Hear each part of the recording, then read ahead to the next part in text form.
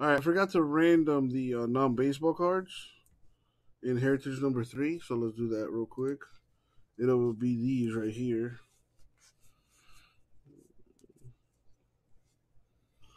It's probably not a big deal to you, but it's it's the principle of the matter. So copy and paste the uh, pull the peeps in this. Let's roll the die. We're gonna go ten times.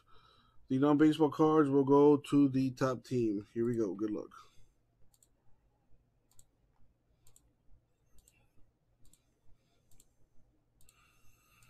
And the money shot. Boom. It'll go to the Mariners. So congrats, Mariners owner, uh, Dave Kyle. Thank you.